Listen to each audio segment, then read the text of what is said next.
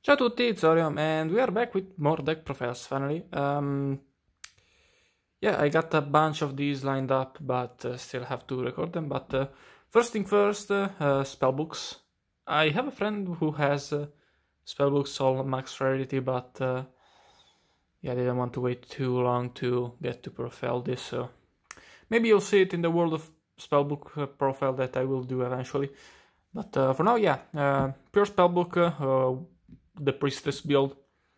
Um, in my opinion, one of the best decks of the format, uh, uh, not tier 1, but right below that, because uh, especially since now everyone is playing uh, triple maxi in the main deck, spellbooks can really take advantage of that by having a, a card in the opponent's hand being completely dead, uh, which is, uh, oh, it's one of the main strengths of spellbooks. a lot of cards are dead versus spellbooks. and uh, not a lot of uh, great side-ins that a lot of people play. So yeah, um, because like they are pretty specific to to mostly just spell books. Um, but yeah, let's get uh, into it, shall we? First off, uh, monster lineup is uh, very, very, very standard. Uh, you have uh, three blue boy, then we have three justice, and we have three priestess. I'll move this. Okay, so uh, what this deck does is it searches. It searches uh, the uh, magic players will see library, and in this case, it's uh, kind of true because they are looking for more books. Uh, but yeah, Blue Boy is your main normal summon of the deck, um, especially since uh, you know it's searchable of um, uh, you know secrets. And uh, he stays on the field unlike uh, justice uh, which is kind of the main weakness of justice. Because justice um, blue boy whenever he's normal summon door flip face up he gets to search a spellbook. Justice if you activated a spellbook during the turn you can banish her in the end can banish her in the end phase to add the spellbook and the high priestess and um, yeah, High Priestess is the boss monster of the deck, reveal three spell books. Uh, it's an effect summon, so the opponent can chain max C to it, and then you special summon it, then you can banish a spell book from the graveyard um, to pop a card on the field. Um, which is useful for uh, stuff like Crescent in the early game, and then late game you can hold a bunch of these in hand and a bunch of books in hand and just uh, go ham. if you see the opportunity. But um, yeah, that's it uh, almost. Uh, we are also running uh, three copies of Maxi. I mean, like, uh, versus combo decks, you really want to stop them from comboing off. So this is very, very strong. Uh, especially in this deck versus those decks because you don't have that many interruptions you know you're just you're mostly going off of uh, card advantage so a big aggressive push is gonna kill you, and uh, Max C kinda stops that. Uh, even besides that, uh, versus other decks, it's a you know draw one, draw two. It's good. Uh, it kind of stops them, especially since uh, you usually do have at least one negate. So Max C does put them in the between the hard and the rock place where they can't really extend much. Going into the main um, part of the deck, the spells, three copies of secrets, secrets. uh, three copies of Crescent, it's kind of necessary. You know, this card sucks. You have to play three copies. That's as simple as, uh, yeah. Uh, like, uh, can only activate it if you have no spell spell books in uh, the graveyard. Can't activate other spells besides spell books during the turn you activate it, but uh, and it gets a random spell book, but you know you really need to get to your engine to get going, so you have to play this. And to master, you know, to recycle your books, to towers, to recycle your books, to eternity, to recycle your books.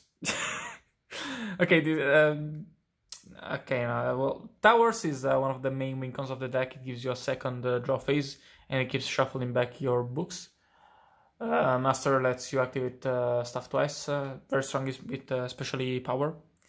And Eternity, you know, gets you back your the stuff you banished with Fate and um, with uh, Priestess. So yeah. And we are running three copies of uh, Wisdom. I feel like three Wisdom is the way in this deck. Um, like you know, can be dead versus some matchups, but uh, versus uh, any controlled matchup, this turns uh, half their deck dead. So that's great. Well, versus any controlled matchup that isn't artifacts. Because this deck fucking hate artifacts. It, it, it, it just loses to artifacts. really, really bad. Uh, then for the one of uh, spellbooks, we have uh, the one of uh, limited spellbook of fate. She luckily just got a reprint or is about to get one, so it's gonna be cheap. Then uh, life, uh, you know, to summon back the priestess if it dies, make better pushes. Empower, you know, gives your spellbook a stack and then gives you a search, so very very strong with master especially.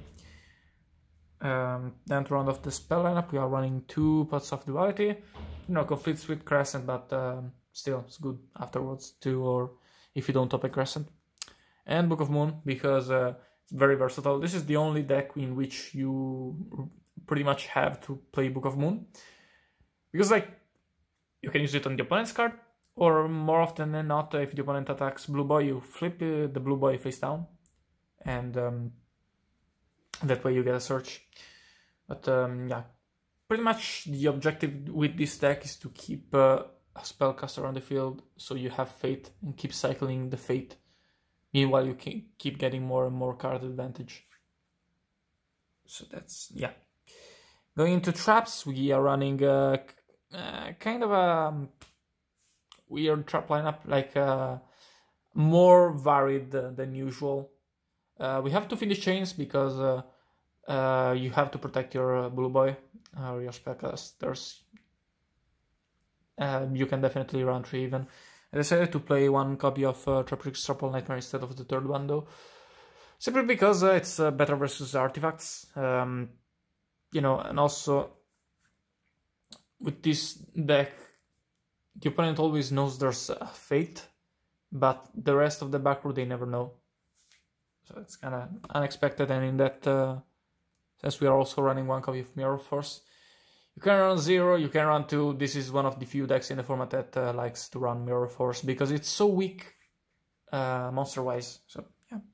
And then for the limited stuff, you're running, of course, uh, bottomless, torrential.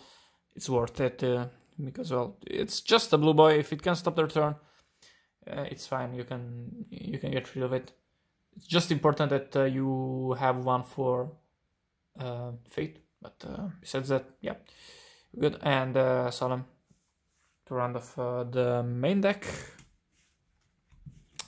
Oops. Going into the extra deck, this deck uh, is the deck that cares uh, by far the least about your extra deck. Doesn't really go much into it, but uh, you know, it exists. You you run it, so yeah. why wouldn't you run anything? Uh, we have the Hierophant, uh, Big Eye, and Dracossack for the rank 7s. Big Eye and uh, Hierophant are spellcasters, so keep that in mind, that's important. Dracossack isn't.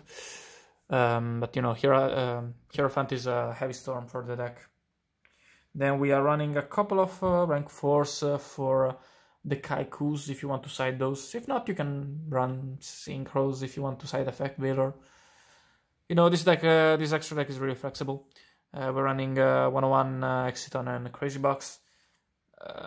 Uh, mainly because I, I, I run Crazy Box because often uh, then more often than not if you're going into rank 4 it's because the opponent has skill drain so make Crazy Box. Uh, then we are running the one Downer Magician. You know, uh, stack it on top of any of your lower rank monsters and it becomes a spellcaster. That's amazing especially since there is no great uh, rank 3 spellcaster. So uh, yeah, we're running uh, Alucard, uh, Acid Golem, and Zenmaines. Acid Golem, same reasoning as uh, Crazy Box, you know, crazy uh, skill drain. Alucard is the best offensive one, Zenmaines is the best defensive one. I don't know when you you'd ever make these, but you can run these, so yeah. Uh, and then for the only mildly important uh, part of the extra deck besides maybe the sevens uh, and downward Uh, we have the rank 2s, uh, Shining Elf, uh, Circuit Box, Socuteboss. Uh, these guys are spellcasters, so keep that in mind. And Augusto Phoenix, uh, Gachi Gantetsu, and Herald of uh, Pure Light. Uh, these guys are a bit better, but they aren't spellcasters, so that counts for something. Um, you know, uh, Shining Elf, this is the only deck that really runs uh, Shining Elf, but um, you know, can kind of protect the board. Uh, so it's, it's alright. And Herald uh, recycles back your stuff, Gachi stalls, uh, Phoenix uh, pushes a bit, and uh, Boss uh, can sometimes remove stuff, I guess. Never really seen it do anything, but you know, it's a spellcaster, it's a rank 2. Why not? It's spell books. You don't really need the extra. So yeah, that's it uh, from me. Leave a like, uh, join the Discord, uh, leave a comment, uh, subscribe, uh, ring the bell, all the good shit, and goodbye.